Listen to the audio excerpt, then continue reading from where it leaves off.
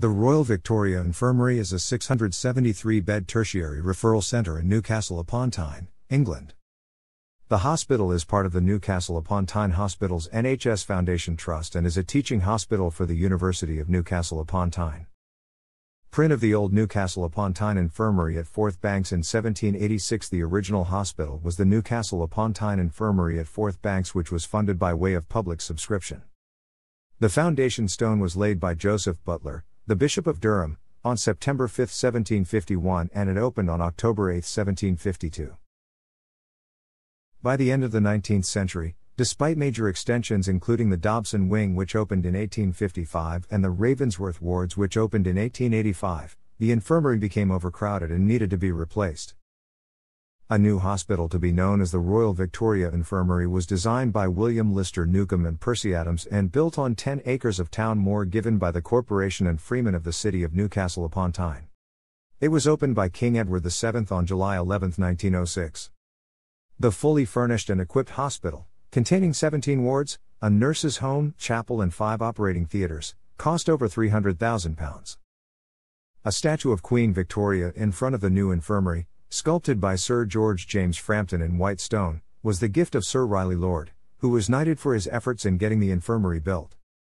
The infirmary became a unit of the 1st Northern General Hospital and treated wounded service personnel during the First World War.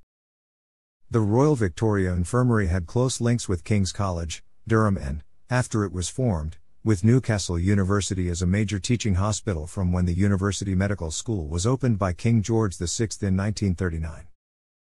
Overcrowding was a problem, with waiting lists of over 5,000 in the 1930s and, until it joined the National Health Service in 1948, money had to be raised for extensions and new equipment, always difficult especially in the Depression years.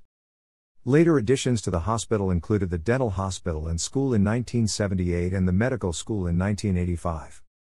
These additions were followed by Leazes Wing in 1992, the Sir James Spence Institute in 1994 and the Claremont Wing in 1996. Although the Peacock Hall survived, many of the Edwardian buildings, including the Old Eastern Block, were demolished at this time to make way for the new structures. The late 20th century also brought consolidation of medical services in the city, including the transfer to the Infirmary of Children's. Services from the Fleming Memorial Hospital in 1988 and of maternity services from the Princess Mary Maternity Hospital in 1993.